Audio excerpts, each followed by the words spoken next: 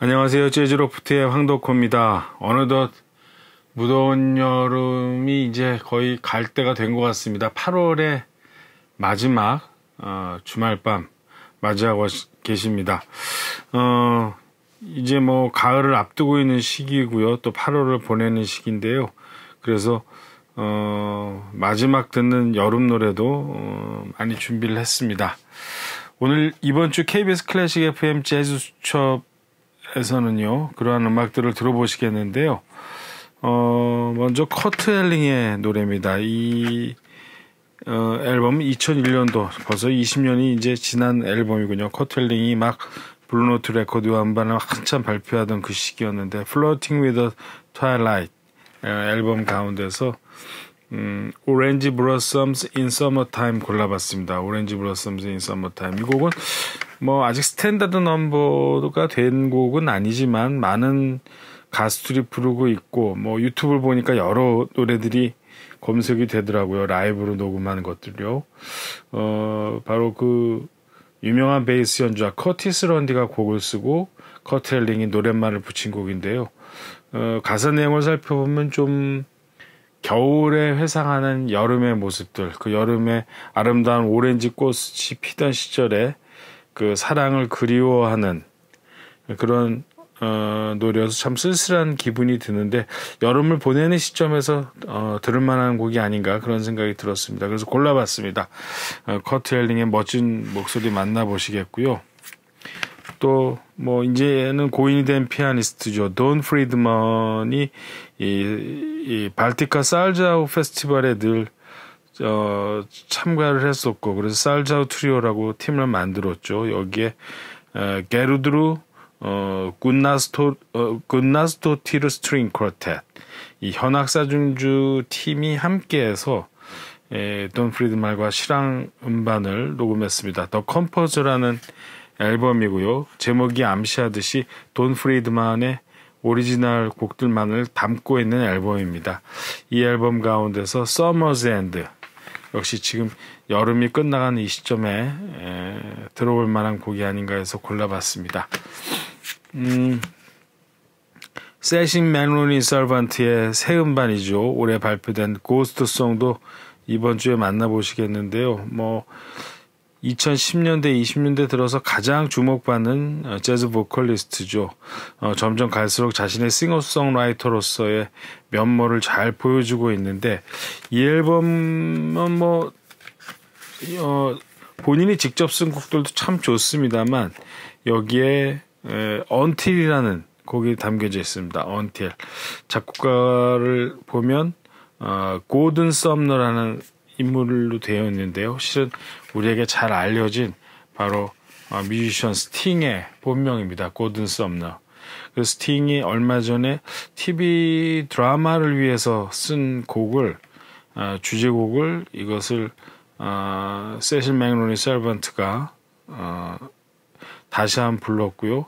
역시 재즈적인 느낌이 가미되면서 하지만 아주 독특한 그녀만의 분위기를 느낄 수 있습니다. 스팅도 어, 이 음악을 녹음을 했기 때문에 뭐 유튜브 검색하시면 쉽게 그 어, 아주 멋진 곡인데요. 어, 여러분들 들어보실 수 있을 겁니다. 음, 해외에서 활동 중인 한국 뮤지션, 한국계 뮤지션이라고 불려야 맞을 것 같습니다. 아, 존 리, 베이스 연주자인데요.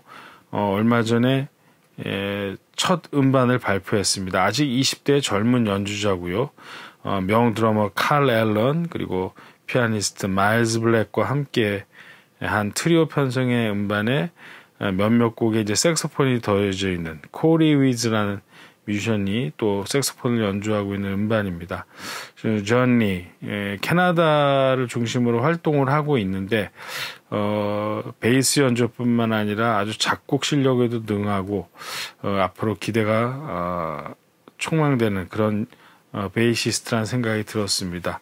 The Artist 어, 자신의 아버지를 가리키는 어, 제목이라고 합니다. 어, 화가셨고 몇 해 전 작곡을 하셨는데 에, 아버지를 생각하면서 만든 첫 앨범이고 또 어, 그 The Artist라는 곡이 수록되어 있습니다. 쟈니의 에, 오리지널 작품입니다. 이곡 만나보시겠습니다. 음, 하워드 럼지는 바로 지금도 현존하고 있는 전설적인 클럽이죠. 라이트하우스에서 오래전에 이제 이 라이트하우스의 음악 감독으로서 활동했던 베이스 연주자였습니다. 라이트하우스는 얼마 전에 그 라라랜드의 촬영 현장으로도 쓰여서 어, 요즘에도 이제 에, 많은 젊은 사람들에게 알려진 그런 재즈의 명소이기도 하죠. 이곳에서 가졌던 53년도 실황 어, 연주에서도 한 곡을 골라봤습니다. 50년대의 클럽 라이브의 분위기를 느껴보도록 하겠습니다.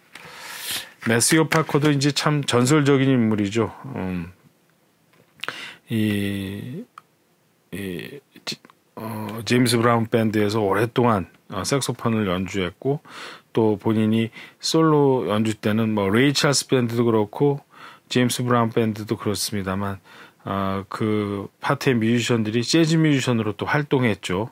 어, 이 앨범은 바로 WDR 그러니까 어, 쾰른의 서독일 방송 빅밴드의 반주로 해서 마세오 파커가 레이 찰스의 곡들을 어, 부른 또 앨범입니다. Roots and 어, Grooves라는 앨범인데요. 이 앨범 가운데서 Hit the Road Jack이라는 또 유명한 레이 찰스의 히트곡도 들어보시겠습니다.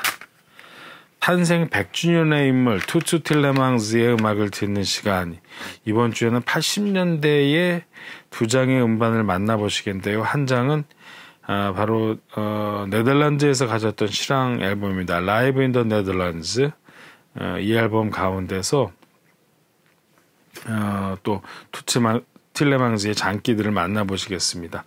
무엇보다도 이때 이제 노스 재즈, 재즈 페스티벌이었는데 이때 노스 재즈 페스티벌의 81년도 프로그램을 바로 노만 그랜츠의 Jazz at the Philharmonic이 예, 그 프로그램을 담당했죠. 그래서 뭐 이 안에는 조 패스 어, 그리고 닐스 페데르센과 같은 명 연주자들 당시 이제 오스카 피터슨 트리오의 멤버들이죠. 어, 이들이 투츠 틸레망과 더 벌이는 아주 정말 어, 뛰어난 기교의 연주들, 어, 어, 틸레망즈의 하모니카뿐만 아니라 기타, 휘파람까지 그의 장기를 다 만나보실 수 있는 앨범입니다.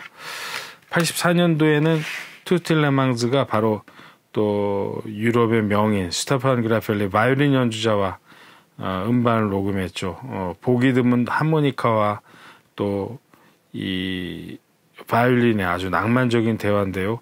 기본적으로 투 틸레망 아 스테판 그레펠리 쿼텟 그 평소에 늘 활동했던 마틴 테일러, 마크 포셋, 어, 브라이언 토프와 함께했던 사중주 팀의 투틸레망징이 가세해서 또 하모니카와 역시 기타 휘파람을 들려주는 또 이색적인 음반입니다. 어, 이번 주에도 또 그 밖에 또 재밌는 어, 음악들을 어, 여러 곡 준비했습니다. 어, 마지막 8월 휴일 여러분들 KBS 클래식 FM 재즈 수첩 놓치지 마시기 바랍니다. 어, 라디오를 통해서 뵙겠습니다.